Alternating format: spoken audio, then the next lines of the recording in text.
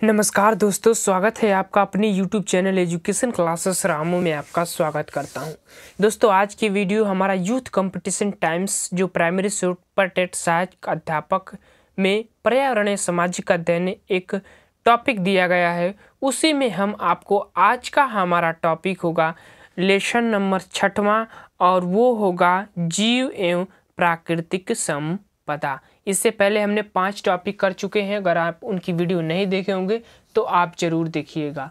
और जो टॉपिक हमें मतलब जो टॉपिक हम इसमें पढ़ते हैं, और उसमें अगर हमें कठिनाई का अनुभव करना पड़ता है तो वो टॉपिक को हम फिर से आपको वाइट बोर्ड पर आकर डायरेक्टली अब समझ चाहते हैं। तो वीडियो अगर आपको अच्छा लगे तो वीडियो को लाइक करिएगा, शेयर करिएगा, सब्सक्राइब करिएगा। तो चलिए दोस्त, आज का हमारा टॉपिक होगा छठवां और व प्राकृतिक संपदा। प्राइमरी सुपर टेट के लिए काफ़ी महत्वपूर्ण है। ज़रूर इस वीडियो को देखिएगा, वीडियो को लाइक करिएगा, शेयर करिएगा। तो चलिए दोस्त, सीधे चलते हैं अपने प्रश्न नंबर पहले पर। और प्रश्न नंबर पहला कह रहा कि हमारे देश का राष्ट्रीय पशु कौन है? काफ़ी सरल प्रश्न है। हमारे देश का राष्ट्रीय पशु कौन है, वो आपको बताना है। विकल्प दो ही है, जिसमें सब पिसन आपको होगा, बाघ होगा या शेर। तो आपको बताना है कि हमारे देश का राष्ट्रीय पशु कौन सा है तो वो हमारे देश का राष्ट्रीय पशु है। ऑप्शन नंबर ए, बाघ होता है। शेर पर मत जाइएगा। ए वाला विकल्प हमारा सही हो जाएगा। देखिए, इस पर थ्योरी दिया गया है कि हमारे देश का राष्ट्रीय पशु बाघ है। भारत में सन उन्नीस में बाघ को राष्ट्रीय पशु घोषित किया गया था। सन उन्नीस सौ तिहत्तर में बाघों के संवर्धन के उद्देश्य से बाघ परियोजना भी आरंभ की गई थी। ठीक? तो ए वाला विकल्प उसका सही हो जाएगा। प्रश्न नंबर दूसरा, भारत में एशियाई शेर कहाँ पाए जाते हैं? भारत में एशियाई शेर जो है, कहाँ आपको पाए जाते हैं वो आपको बताना है। चलिए आपको मैं एक राष्ट्रीय उद्यान का नाम भी बताता हूँ। गिर राष्ट्रीय उद्यान। अब ऐसे प्रश्न भी डोज लीजिएगा। गिर राष्ट्रीय उद्यान किस राज्य में है? तो गुजरात में है। और विकल्प हमारा सही हो जाएगा कौन सा? डी वाला विकल्प गुजरात ही। क्योंकि एशियाई शेर जो है गुजरात में ही पाए जाते हैं। एशियाई शेर केवल गुजरात के गिर जंगलों में पाए जाते हैं। प्रश्न नंबर तीसरा वन्य जीव सप्ताह मनाया जाए काफ़ी इम्पोर्टेंट प्रश्न है। वन्य जीव सप्ताह मनाया जाता है, कब से कब तक, वो आपको बताना है। कब से कब तक मनाया जाता है? वन्य जीव सप्ताह दिवस तो वह मनाया जाता है अक्टूबर के पहले सप्ताह में मनाया जाता है। तो ये वाला विकल्प जो है, सही हो जाता है, पूछा जाता है, ध्यान रखिएगा। प्रत्येक वर्ष अक्टूबर माह का पहला सप्ताह, एक से सात अक्टूबर वन्य जीव सप्ताह के रूप में मनाया जाता है। प्रश्न नंबर चौथा है कि एक सिंह गेंडे के लिए प्रसिद्ध काजीरंगा राष्ट्रीय उद्यान किस राज्य में है? काफ़ी अच्छा प्रश्न, सरल प्रश्न और सी वाला विकल्प सही हो जाएगा। असम में जो है काजीरंगा राष्ट्रीय उद्यान स्थित है, सी वाला विकल्प जो है सही हो जाएगा और वह एक सिंह वाले गेंडे के लिए प्रसिद्ध है राष्ट्रीय जो असम के जोहरट ज़िले में स्थित है, ये भी ध्यान रखिएगा। प्रश्न नंबर पाँच, भारत का कौन सा राष्ट्रीय उद्यान हंगुल मृग के लिए प्रसिद्ध है? कौन सा राष्ट्रीय उद्यान है? इम्पोर्टेंट प्रश्न है। हंगुल मृग के लिए कौन सा राष्ट्रीय उद्यान प्रसिद्ध है, वो आपको बताना है। विकल्प आपके सामने है। कौन सा राष्ट्रीय उद्यान है? तो जम्मू कश्मीर का कौन सा दचिंग्राम राष्ट्रीय उद्यान? सी वाला विकल्प जो है, सही हो जाएगा। दचिंग्राम राष्ट्रीय उद्यान जो है हंगुल मृग के लिए प्रसिद्ध है, ध्यान रखिएगा सी वाला विकल्प सही हो जाएगा जम्मू कश्मीर का दक्षिण राष्ट्रीय उद्यान हंगुल मृग के लिए प्रसिद्ध है। प्रश्न नंबर छठवां है कि प्राकृतिक संपदा है। प्राकृतिक संपदा क्या है, वो आपको बताना है। विकल्प आपके सामने है। प्राकृतिक संपदा क्या है? जल संपदा, वायु संपदा, मृदा संपदा, उपयुक्त सभी। तो प्राकृतिक संपदा की बात करके सभी प्राकृतिक में आ जाते हैं। तो ऐसे में हम डी के साथ जाएँगे। प्रकृति द्वारा अनेक संपत्ति प्रदान की गई है, जिसमें से कुछ प्रमुख निम्नलिखित है, जैसे जल संपदा, वायु संपदा, वन संपदा, मृदा संपदा, खनिज संपदा, ये सब प्राकृतिक संपदा है। प्रश्न नंबर सात, लोहा, कोयला तांबा, पत्थर आदि के अंतर्गत आते हैं।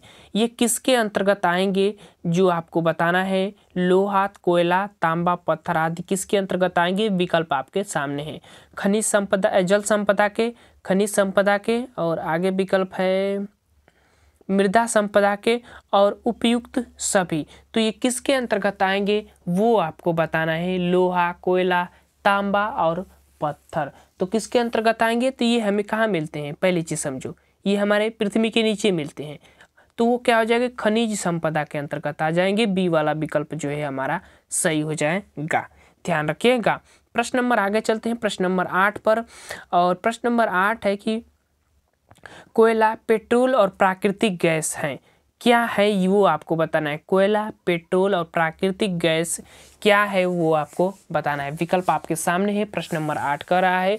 तो ये जो है ना, सभी जीवाश्म ईंधन के स्रोत हैं, ए वाला विकल्प जो है सही हो जाएगा। कृत्रिम ईंधन कैसे कर सकते हैं? क्योंकि ये हमें पृथ्वी के अंदर से प्राकृतिक रूप में मिलते हैं तो हमारा विकल्प ए वाला ही सही हो जाएगा। कोयला, पेट्रोल, प्राकृतिक गैस, खनिज संपदा के अंतर्गत आते हैं जिसे जीवाश्म ईंधन भी कहते हैं, क्योंकि यह निर्माण पादप जंतुओं के अवशेषों से पृथ्वी के नीचे होता है। प्रश्न नंबर नौ, जल संसाधनों में भारत का विश्व में स्थान कौन सा है, वो आपको बताना है जल संसाधनों में। तो जल संसाधनों में भारत का अगर हम बात करें तो वो है हमारा तीसरा स्थान, सी वाला विकल्प इसका सही हो जाएगा।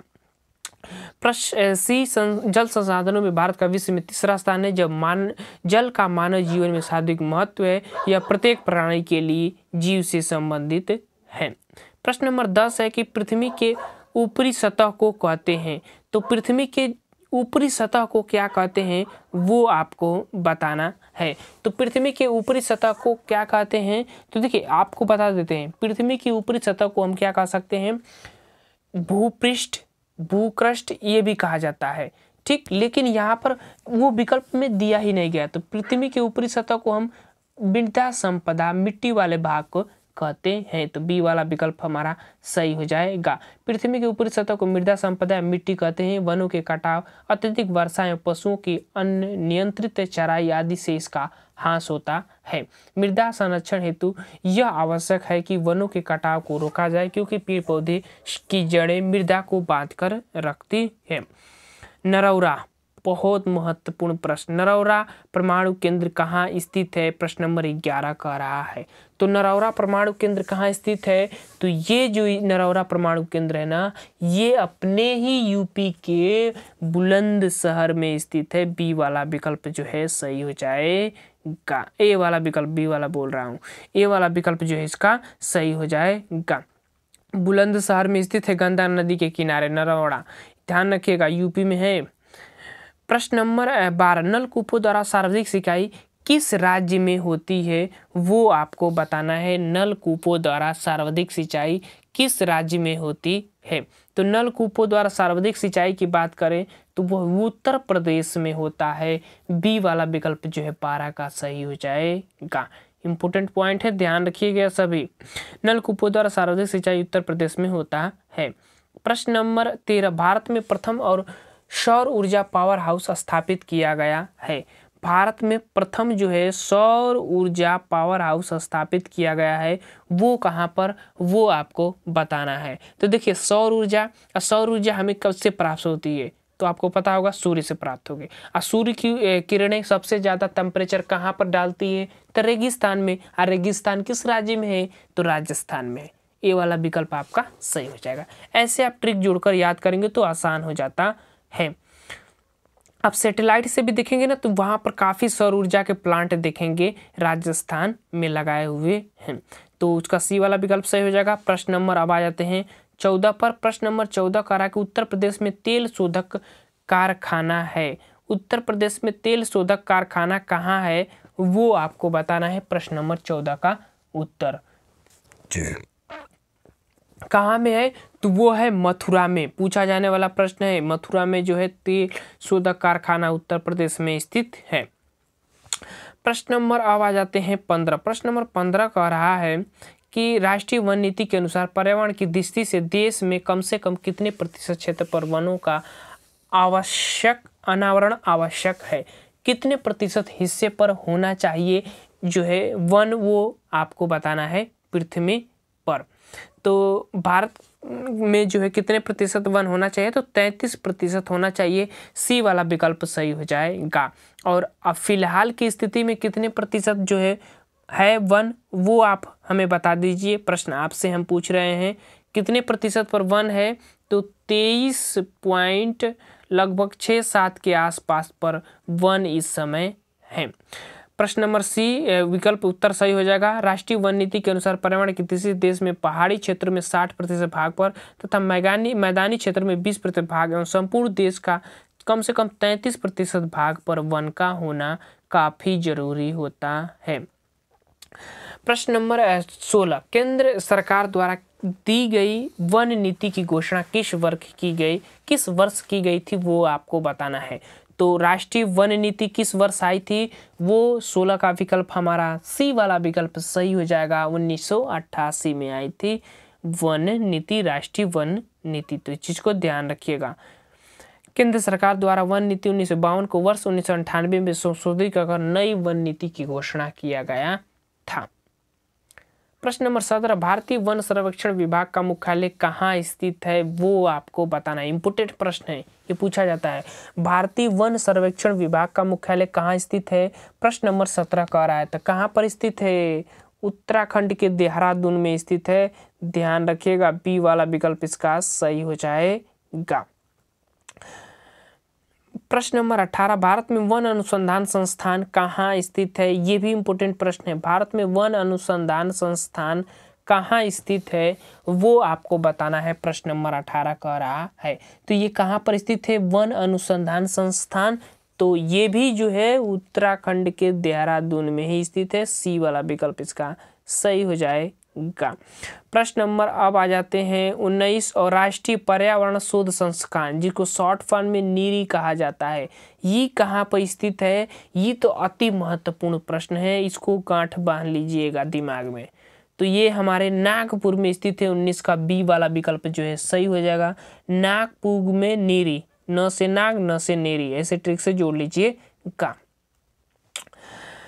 राष्ट्रीय पर्यावरण शोध संस्थान की स्थापना उन्नीस सौ चौहत्तर में नागपुर महाराष्ट्र में की गई थी। इसका मुख्य उद्देश्य सरकार को पर्यावरण विज्ञान एवं शोध से संबंधित सुझाव देने हैं।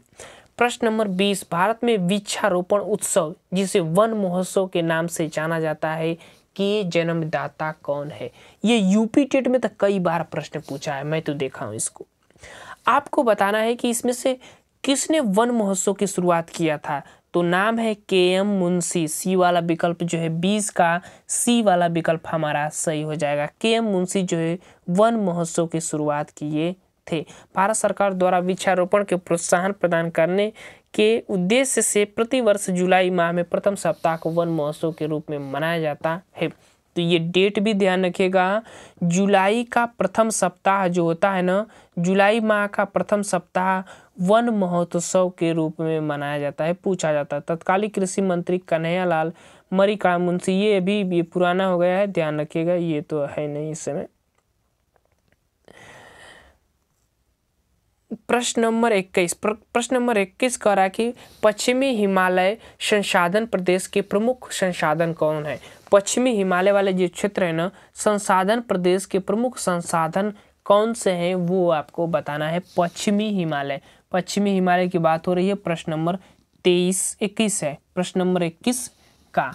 तो कौन है? तो वो वन ही है पश्चिमी हिमालय के प्रमुख संसाधन के रूप में। ए वाला विकल्प इसका सही हो जाएगा। देखिए, हिमालय पर्वतमाला भारत के उत्तर से में चोटी, में ऊँची चोटियों की एक सतत श्रृंखला से बधती है। इसका पश्चिमी मार मारदांड कश्मीर घाटी, उत्तर प्रदेश से उत्तराखंड विस्तृत है। वन पश्चिमी हिमालय संसाधनों के प्रदेश में पाए जाने वाले प्रमुख संसाधन है। तो ये पॉइंट ध्यान रखिएगा।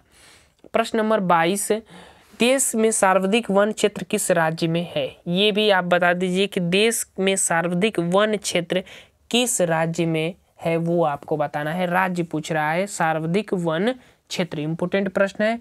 तो किस राज्य में है? तो वो मध्य प्रदेश में है।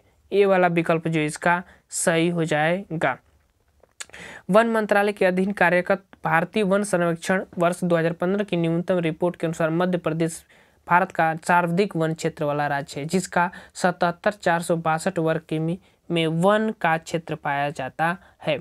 सड़सठ दो अड़तालीस वर्ग किमी वन क्षेत्र के साथ अरुणाचल प्रदेश दूसरे स्थान पर, छत्तीसगढ़ तीसरे स्थान पर है। प्रश्न नंबर तेईस, प्रश्न नंबर तेईस करा कि निम्नलिखित में से किस राज्य में कुछ भौगोलिक क्षेत्र में सबसे कम भाग पर वनों का विस्तार पाया जाता है? किस राज्य में सबसे कम वनों का विस्तार पाया जाता है? ऐसे भी प्रश्न बन सकता है तो किस राज्य में पाया जाता है? प्रश्न नंबर तेईस का उत्तर आपको बताना है।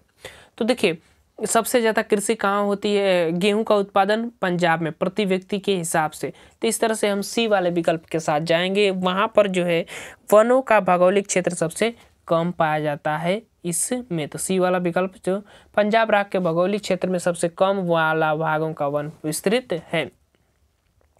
प्रश्न नंबर चौबीस, किस राज्य में वनों का सर्वोच्च प्रतिशत है? अब यहाँ देखिए, प्रतिशत पूछ दिया। तब हमारा विकल्प चेंज हो जाता है। और वो हम किसके साथ जाएँगे? तो मिजोरम के साथ जाएँगे। सी वाला विकल्प जो है सही हो जाएगा। प्रतिशत के हिसाब से, प्रतिशत की दृष्टि से सर्वाधिक वन क्षेत्र मिजोरम में दूसरे स्थान पर लक्षद्वीप का नाम आता है। ये भी ध्यान रखिएगा। प्रश्न नंबर पच्चीस, देश के सर्वाधिक क्षेत्र पर किस प्रकार के वन पाए जाते हैं? वो आपको बताना है। तो देश के सर्वाधिक क्षेत्रफल पर किस प्रकार के वन पाए जाते हैं, वो आपको बताना है पच्चीस नंबर प्रश्न का। और वो उस पर किसने तो हमारे देश में क्या है, ज़्यादातर जो है पतझड़ वाले पेड़ ज़्यादा पाए जाते हैं। तो हम उसको कौन से विकल्प के साथ जाएँगे, डी वाले विकल्प के साथ जाएँगे। उष्ण आर्द्र उष्ण आर्द्र पतझड़ वाले वन जो है हमारे क्षेत्रफल पर सबसे ज़्यादा पाए जाते हैं। प्रश्न डी है कि उद्र उष्णाद्र पतझड़ वन भूमध्य रेखा के दोनों ओर महाद्वीपीय भागों में पाँच से लेकर तीस डिग्री उत्तरी तथा दक्षिणी गोलार्धों के मध्य फैले हैं। ग्रीष्म ऋतु में ये वन अपनी पत्तियाँ गिरा देते हैं, इसीलिए इन्हें उष्णांध्र पतझड़ वन कहा जाता है। उष्णांध्र पतझड़ वन भारत के सर्वाधिक भागों में पाए जाते हैं। इसका विस्तार उत्तर पश्चिमी में पंजाब, हरियाणा से लेकर मध्य प्रदेश, महाराष्ट्र, आंध्र प्रदेश, कर्नाटक, तमिलनाडु राज्यों में पाया जाता है। प्रश्न नंबर 26 दलदली अथवा ज्वार भाटा क्षेत्र में पाए जाने वाले वनों को क्या कहते हैं या क्या कहलाता है? तो ऐसे वनों को हम क्या कहते हैं? मैग्रो वन कहते हैं। ए वाला विकल्प जो है 26 का सही हो जाएगा जो दलदली और ज्वार भाटा वाले क्षेत्रों में पाए जाते हैं।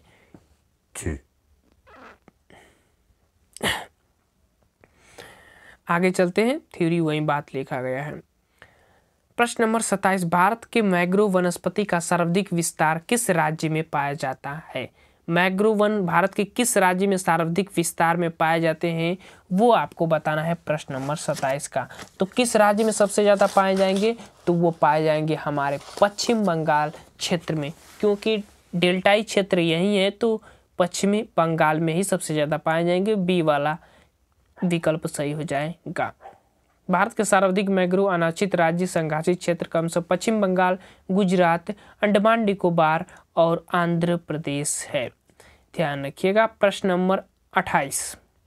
भारत में चंदन की लकड़ी के वन सबसे अधिक कहाँ पाए जाते हैं? इम्पोर्टेंट प्रश्न है, चंदन की लकड़ी के वन सर्वाधिक, अधिक कहाँ पाए जाते हैं? प्रश्न नंबर अट्ठाईस, ये कह रहा है।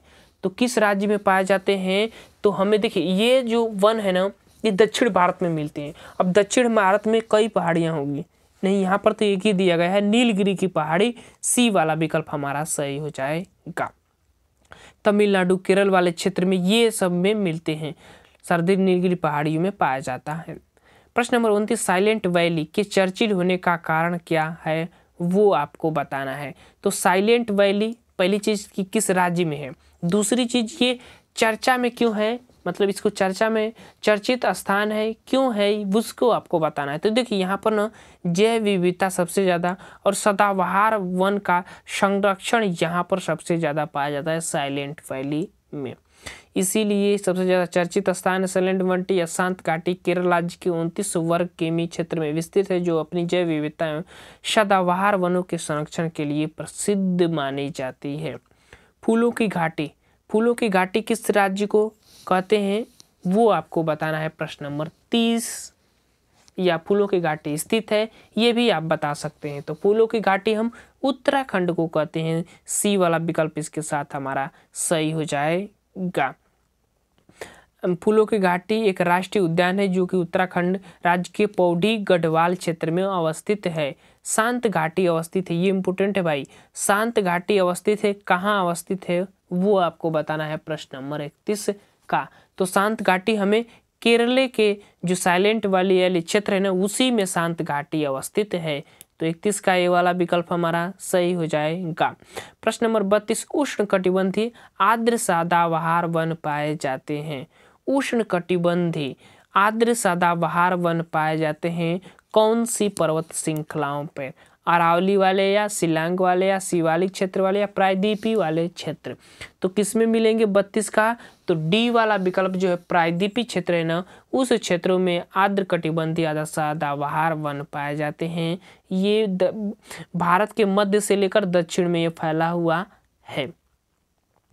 प्रश्न नंबर डी है कि जिन स्थानों पर शीत ऋतु, शुष्क एवं ग्रीष्म ऋतु में 200 से सेमी से अधिक वर्षा होती है, उन क्षेत्रों में उष्ण कटिबंधी आर्द्र सदाबहार वन पाए जाते हैं। इस प्रकार के वन मुख्यतः प्रायद्वीपी पठारों में पाए जाते हैं।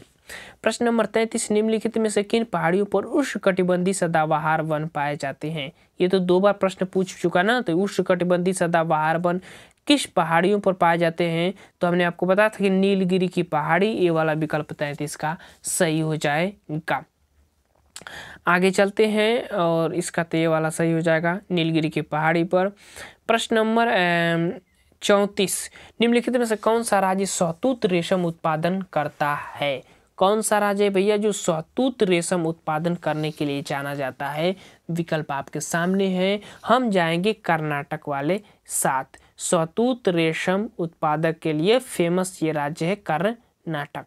ध्यान रखिएगा देखिए, रेशम के कीड़े सतूत के वृक्ष पर पाले जाते हैं। भारत का कर्नाटक राज्य सतूत रेशम सर्वाधिक उत्पादित करता है।